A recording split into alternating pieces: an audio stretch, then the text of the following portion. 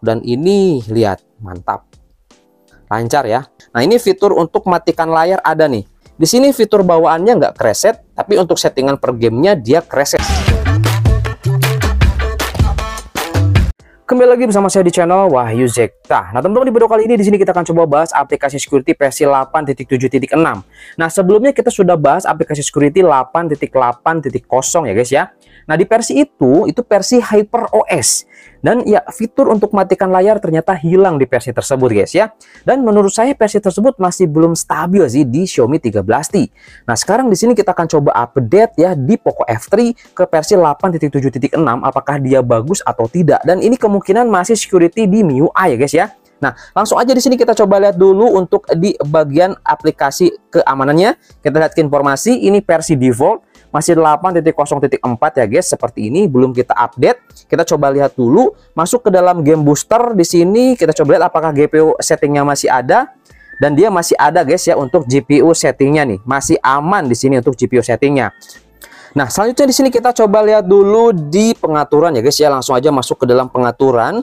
Kita coba lihat dulu untuk di bagian eh, baterai ya guys ya. Nah, untuk di baterai dia tampilannya masih seperti ini. Ini masih versi default ya. Kemudian untuk di bilah sisi nih. Nah, untuk di bilah sisi stand tambahan, kemudian ke bagian sini di bagian jendela mengambang, kemudian di bagian bilah sisi. Nah, ini tampilannya seperti ini ya guys ya, masih ya default dan di sini masih ada fitur untuk matikan layarnya. Nah, untuk fitur matikan layar kita coba tes itu masuk dulu ke dalam YouTube, teman-teman. Nah, di dalam YouTube, teman-teman di sini langsung aja kita coba cari seperti ini digeser ya. Nah, ini sudah ada nih karena diaktifkan selalu. Nah, ini fitur untuk matikan layar ada nih. Nah, nyalakan audio tapi matikan layar. Nah, ini versi yang default, versi bawaan dia ada fitur ini, guys. Nah, ya. Nah, nggak tahu nanti setelah kita coba update ke versi 8.8.0 apakah dia ada atau tidak untuk fitur matikan layarnya. Nah, di sini kita akan coba teman-teman untuk update ya ke versi 8.7.6 bagaimana nanti untuk fitur-fiturnya. Apakah dia sama ya, ada fitur matikan layar atau tidak? Kita coba lihat teman-teman ya. Nah kalau kita coba lihat dulu di sini untuk aplikasi uh, di dalam aplikasi security-nya dia seperti ini ya guys ya. Ini kita lewati dulu. Nah tampilannya seperti ini masih belum ada toolbox-nya. Oke, langsung di sini saya coba update terlebih dahulu untuk security-nya ke versi 8.7.6 ya guys ya. Kita coba nih. Nah, teman-teman di sini saya sudah update ke versi 8.7.6. Kita coba lihat dulu ya versinya teman-teman. Sini masuk informasi. Nah, ini dia versi 8.7.6 ya guys ya. Ekor 1.1 nih ini yang paling terbaru nih ya. Oke, langsung aja di sini kita coba lihat dulu masuk ke dalam aplikasinya, kita coba tarik ke bawah dan di sini ada fitur toolbox-nya guys.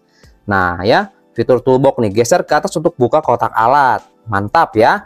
Nah, sekarang udah ada perubahan nih untuk di bagian aplikasi security-nya. Kemudian kita coba lihat dulu untuk di bagian uh, sini teman-teman ke pengaturan terlebih dahulu. Kemudian kita coba lihat untuk di bagian baterai.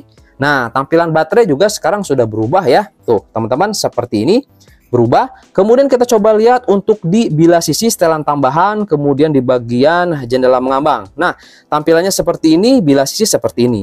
Untuk memastikannya, kita masuk dulu ke dalam aplikasi YouTube seperti ini, teman-teman. Langsung kita coba geser. Nah, di sini ternyata fitur untuk nyalakan suara tapi matikan layar hilang di versi ini ya, guys ya. Versi 8.7.6 ini hilang. Oke, nah selanjutnya di sini kita akan coba lihat masuk ke dalam game boosternya. Nah, kita coba lihat ke dalam game booster, kita coba lihat apakah dia kreset. Tidak guys, di sini fitur bawaannya nggak kreset, tapi untuk settingan per gamenya dia kreset. Karena sebelumnya saya coba uh, downgrade dulu teman-teman. Nah, nanti tinggal di custom aja seperti ini. Untuk settingannya ya teman-teman bisa disesuaikan aja ya bawaan atau gunakan resolusi 720p itu tergantung teman-teman. Kemudian kalau kita coba lihat tuh di bagian settingnya seperti ini ya guys ya. Rekomendasi konten sebaiknya di off kan.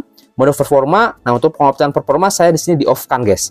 Ya, jadi memang ini nanti biar tidak terlimit untuk uh, gameplaynya. Tapi HP akan cepat panas ya teman-teman seperti itu. Kalau misalkan ingin di limit, ini tinggal diaktifin aja. Seperti itu teman-teman. Kita coba tidak di limit terlebih dahulu ya. Nah, seperti ini untuk di tampilannya. Nah, sekarang nanti kita coba lihat untuk di bilah sisinya nih. Bilah sisinya seperti apa di versi terbaru kali ini. Kalau ini versi uh, bawaan aja teman-teman ya untuk di bagian uh, voting window ya. Ini fitur ini voting window nih. Nah, seperti itu. Jadi tanpa harus masuk ke dalam gamenya pun karena saya tadi selalu aktifkan jadi dia selalu muncul di sini, guys. Seperti itu ya. Oke, di sini kita akan coba tes dulu masuk ke dalam gameplay dari Genshin Impact sekaligus kita coba lihat nanti apakah security ini ngelimit atau tidak. Kalau tadi saya sudah coba setting dia dia tidak dilimit, harusnya tidak terlimit untuk security kali ini, guys. Oke. Nah, sebelum nanti masuk ke dalam gameplay, saya coba perlihatkan terlebih dahulu di sini untuk di bagian Joyose-nya ya, teman-teman biar nanti nggak bertanya-tanya nih untuk Joyose-nya versi berapa, Bang. Nah, ya, kita coba cek di sini. Masuk ke sini, kita cari Joyose. Untuk Joyose di sini saya menggunakan versi 11 ya, belum diupdate ke versi 12 gitu teman-teman ya. Nah, kemudian di sini untuk plugin layanan sistemnya, plugin layanan sistem di sini saya menggunakan versi yang ekor 1.3 57 ekor 1.3 dan ini stabil menurut saya teman-teman. Recommended lah yang security kali ini. Ekor 1.3 mantap cuy. Seperti itu ya. Oke langsung aja nanti kita coba masuk ke dalam gameplay dari Genshin Impact. Sekaligus kita coba lihat nanti performanya seperti apa guys. Oke okay guys, di sini saya sudah masuk di dalam game Genshin Impact. Dan teman-teman bisa lihat di sini untuk FPS-nya dia bisa sampai di 56 FPS ya. Nah, ini kebetulan lagi ada uh, monster nih, langsung aja kita coba serang aja teman-teman. Oke, seperti itu ya. Dan ya, ini menurut saya sih lancar ya guys ya. Tapi dia ngedrop kadang-kadang ke 30 dan balik lagi ke 50-an. Nah, kalau misalkan teman-teman ingin stabil ya dengan menggunakan uh, security kali ini, itu kita harus menggunakan fan cooler atau kipas ya guys ya. Terutama di Poco F3 itu kalau panas itu memang kerasa banget ya dia bisa langsung frame drop seperti itu teman-teman. Wah, mati guys. Karakter utamanya kita coba pakai dia ya. Nah, di sini boom. Oh nggak meledak. Itu tongnya. Dor. Ya kita pakai perisai guys. Aman di sini. Dan ini lancar ya 50-an fps guys. 55 60 fps terkadang tuh aman di sini. Ya pasti posisi smartphone-nya harus dalam keadaan tidak panas ya guys ya. Kalau misalkan nanti panas itu nanti dia akan ngeframe. Maksudnya ya akan ngelok untuk uh, si fps yang bisa turun untuk fps-nya seperti itu. Nah, ini lancar parah yakin ya kombinasi yang sudah saya tadi sebutkan dan menggunakan security 8.7.6 mantap ini cuy. Bisa dicoba aja ya.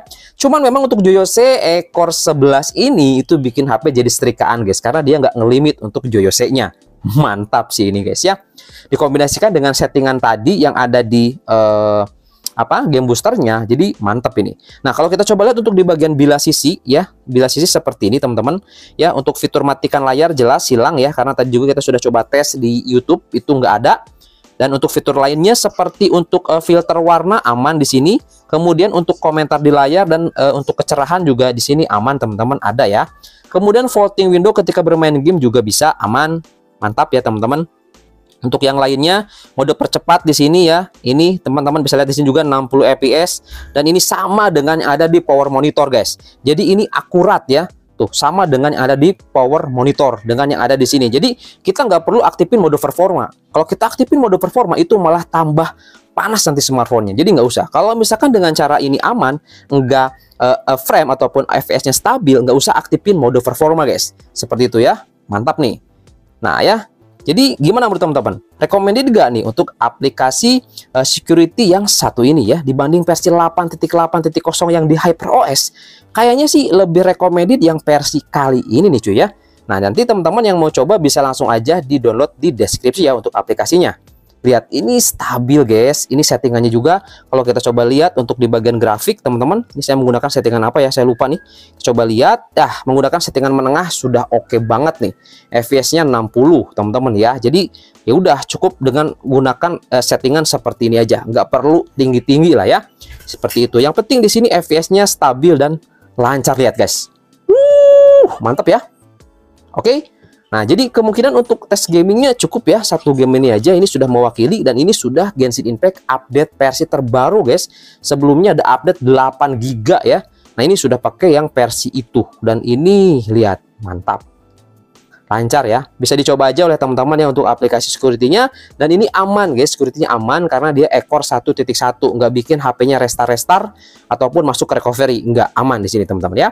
Oke, jadi itu aja mungkin teman-teman ya di uh, review security terbaru kali ini versi 8.7.6 mantap ini ya dikombinasikan dengan uh, plugin layanan sistem tadi yang ekor 1.3 kemudian Joyose ekor 11 dan security yang satu ini 8.7.6 mantap ya Oke itu aja semoga ada informasi yang bermanfaat dan sampai ketemu lagi di video saya selanjutnya Oke, mantap. Mantap, guys.